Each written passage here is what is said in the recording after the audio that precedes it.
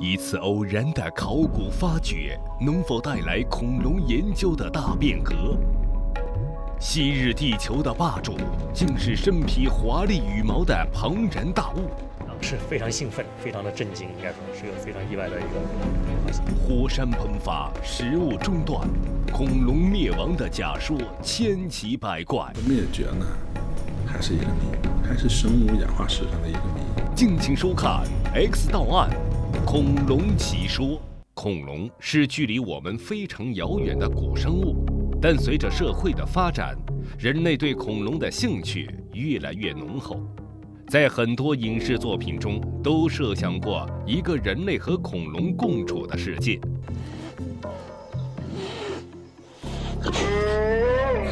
很多影视作品形象地再现了恐龙时代的场景。这些恐龙多种多样，有的体型如高大建筑，有的小巧玲珑。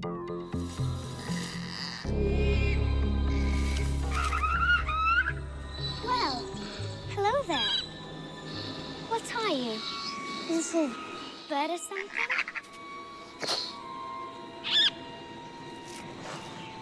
Are you hungry? Take a bite. It's roast beef. It's good. Come on, I won't hurt you. 各种各样的恐龙占领了地球的水陆空，统治地球一亿六千万年之久。虽然恐龙的种类非常多，但在我们看来，所有的恐龙都有一个共同的特点。它们的体表皮肤都是光亮的，没有毛发覆盖。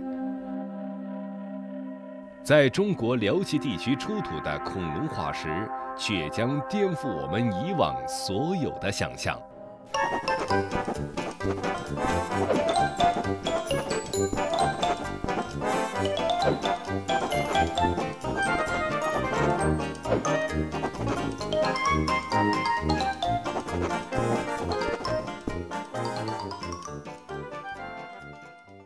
是非常兴奋，非常的震惊，应该说是个非常意外的一个发现。他说有露出来一点啊，他说小心这恐龙，他说你看这是不是毛？在国际古生物学界有一个很有意思的说法：没去过辽西的学者不是一个合格的学者。为什么这么说呢？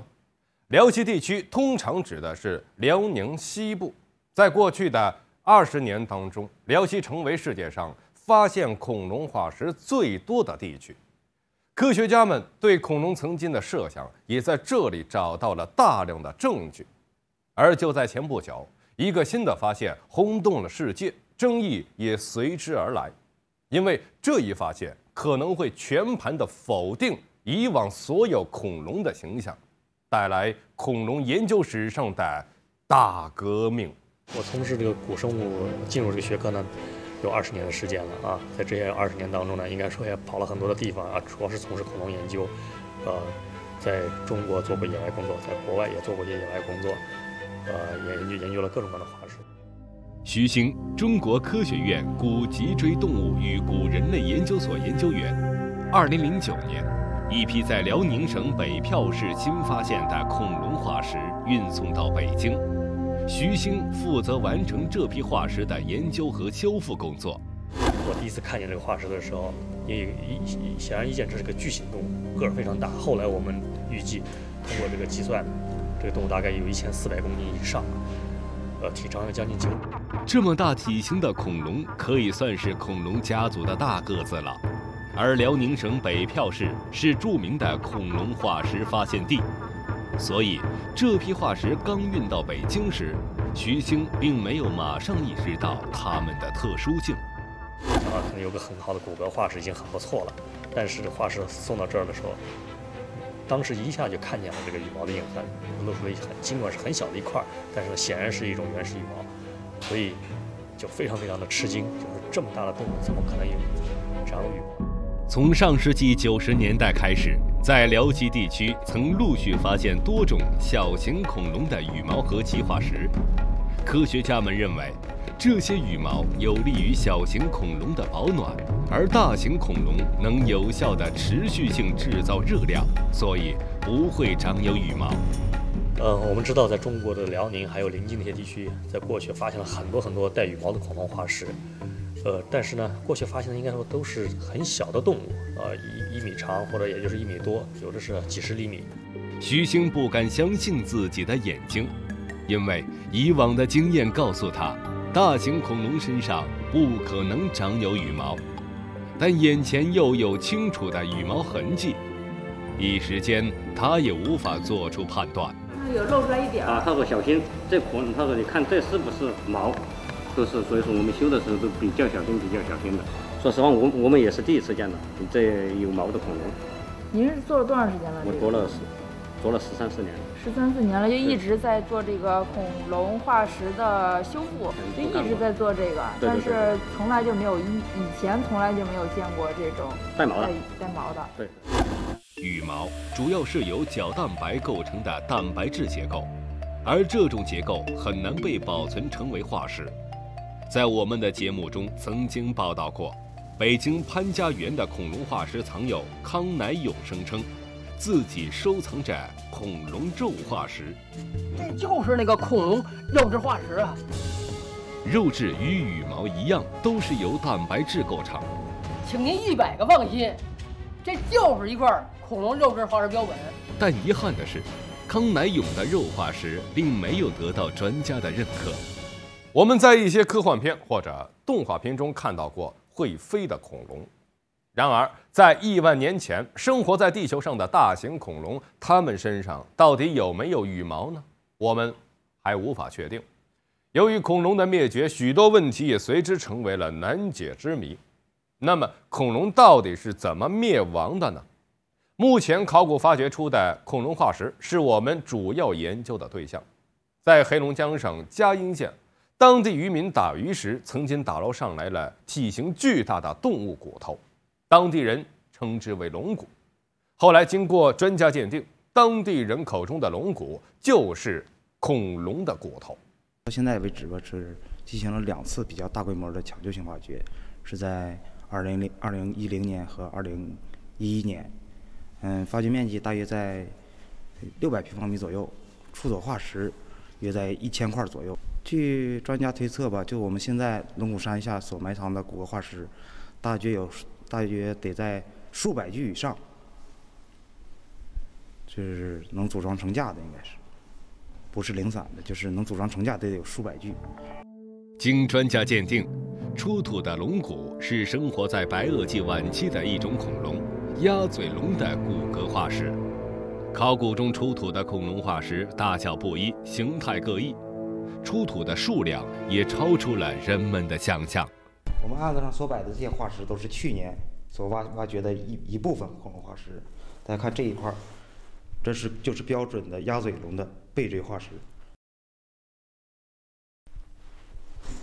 而这一块呢，大家可以看一下，这就是这是乌喙骨，就是咱的肩胛骨和上臂的连接的一块。大家可以对比一下，你看这个大的和小的，这就一个区别。这个大的组组装起来就得有十米开外，这个只能在五五六米左五米左右。嗯，而这一块化石呢，就不是鸭嘴龙的恐龙化石，应该是肉食性恐龙化石的一种，的锥体也是锥体，不过我们现在没法确认到底是哪一种化哪一种恐龙的化石。这种化石在我们江阴县发现的多吗？得占百分之十左右吧，都是无法就是无法确认的。就是也是不是鸭嘴龙的恐龙化石。这些大大小小的恐龙化石，经过一定的修复后，就可以组装成恐龙骨架。昔日地球霸主的强悍，从这些巨大的腿骨就可窥见一斑。鸭嘴龙的股骨化石，就是大腿骨，大约在六十到七十公分左右。要如果用它来组装成架，这个恐龙骨架大约在八米左右，重量能达到四吨。左右。这是在神州恐龙博物馆展出的母子鸭嘴龙的化石骨架。据了解，母龙身长十米左右，有四米多高，而子龙的体型似乎还不及母龙的一半大小。在六千五百万年以前，这对恐龙母子相互顾盼，向前奔走，但没想到，一场突如其来的灾难将母子深埋地下。就此定格在了历史上。这些凌乱的化石堆积在一起，俨然成了一个巨大的恐龙公墓。考古发掘中发现的很多恐龙化石有大有小，成年恐龙和幼年恐龙的化石也都存在，这让我们不由得发出疑问：为什么会有如此众多的恐龙埋葬在这里呢？亿万年前的地球上到底发生了什么呢？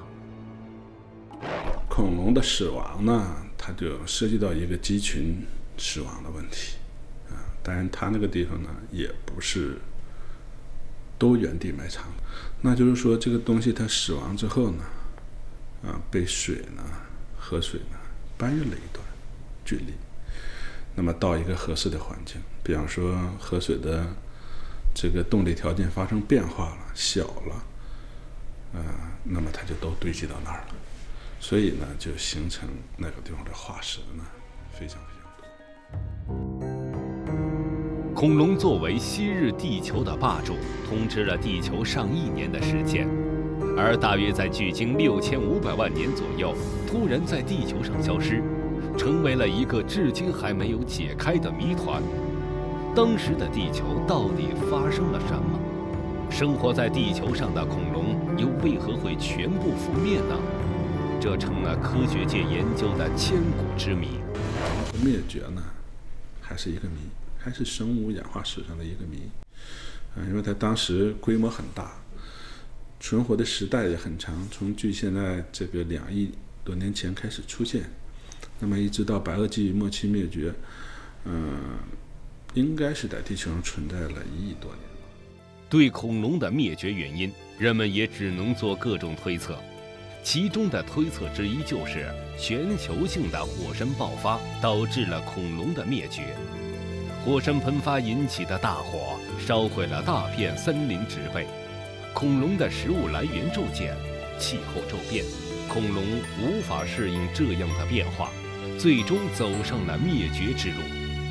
令人兴奋的是，在嘉阴县的恐龙化石考古发掘中，人们确实找到了火山岩。那么，嘉阴县恐龙灭绝的原因会就此揭开吗？嘉阴那个地区呢，同时代确实有火山喷发，嗯，确实有火山喷发，但是有没有，就是或者说是它这个火山喷发是不是是恐龙灭绝的，还没有人做进一步的研究。目前，我们依旧不能肯定嘉阴县的恐龙灭绝和火山喷发有关。有人曾经提出，恐龙是不是因为繁殖方面的原因，最终导致自己走向灭绝的呢？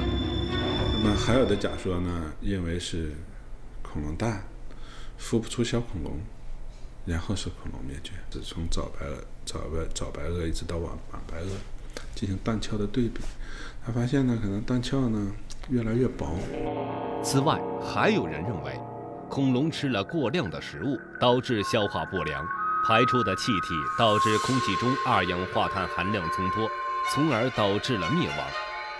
也有人认为，当植物由于气候变化由繁茂变得稀少时，以吃植物为主的恐龙数量骤减，食肉龙争抢着最后的晚餐，生物链的中断使恐龙这个兴盛一时的王国开始土崩瓦解。但是呢，每个假说呢，它都在找证据。之所以叫假说呢，它就是是 验证不了的事实。你比如说，它食物吃的太多了，食物链中断，那它可以少吃一点嘛，是不是？或者饿死一部分，剩少了，总归他这还是够吃了吧？所以都不是很准确。